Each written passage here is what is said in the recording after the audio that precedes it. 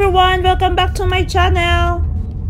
Guys, this is Whitehorse City and today's video, let's learn more about Yukon Territory, Canada. And guys, if you have not yet subscribed here in my channel, subscribe now and click the notification bell button below para lagi kayong updated sa aking bagong video. Alright, here you go. Welcome to Whitehorse City, Yukon Territory.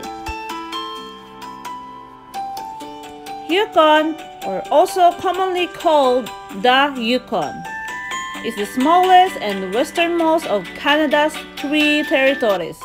It has the smallest population of any province or territory in Canada.